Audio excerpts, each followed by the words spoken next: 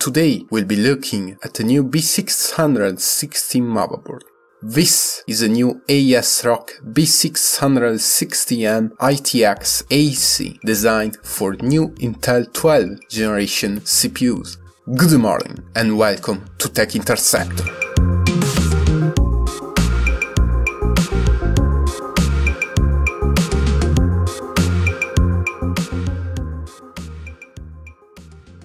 First of all, remember to subscribe to the channel and activate the notification bell to stay up to date on upcoming video and if you want to take a look at our Twitter and Instagram profiles.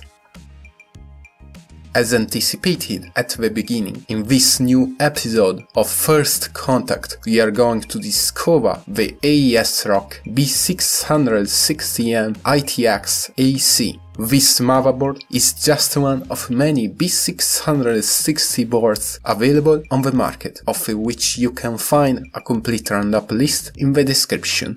Starting from the box, we find, of course, the motherboard, a quick installation guide, a support CD, two SATA cable, an I.O. panel shield, two Wi-Fi antennas, and one screw for M2 socket.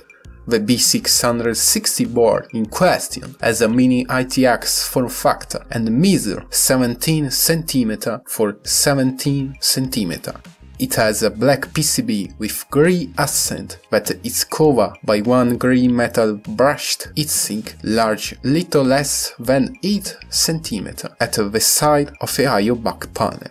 In addition, there is one smaller square on the chipset. The board presented a VRM layout feature 6 power phases that guarantee the maximum power and efficiency. As all new B660 boards, it features Intel 1700 socket that support the 12 Intel Core i9, i7, i5, i3, Intel Pentium Gold and Celeron CPUs.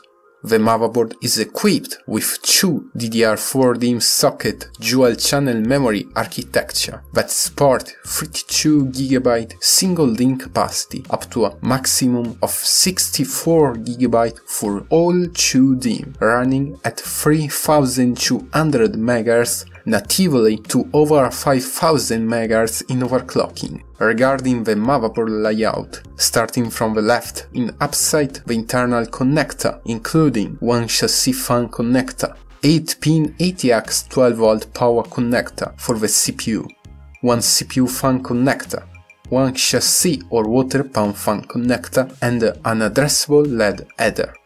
After going down on the right, there are a 24-pin ATX main power socket connector, a front panel Type-C USB 3.2 Gen 1 header, and a USB 3.2 Gen 1 header, 4 SATA 6GB to second ports, one system panel header, and a USB 2.0 header. In the bottom of mobile there are a clear CMOS jumper, a chassis speaker header, and front panel audio header. As a storage option, the new B660 motherboard has a 4 SATA 3 6GB to second connector and a 1 Hyper M2 socket. Support Type 2280 storage devices at SATA 3 6GB to second and PCI Express Gen 4 for 4 mode. As expansion slot, the motherboard feature only one PCI Express Gen 4 for 16 slot. On back in the I.O. panel we find firstly one HDMI port, a DisplayPort 1.4, a PS2 mouse keyboard port, two USB 3.2 Gen 1 ports, one LAN Ethernet port, two USB 2.0 ports, antenna ports, and audio jacks including line-in, front speaker and microphone port. And now we talk about of prices.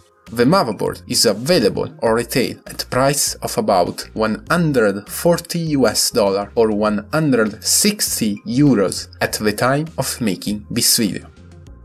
As always, let me know what you think in the comments below and if you find this video helpful then leave a like, share it with your friend and don't forget to subscribe.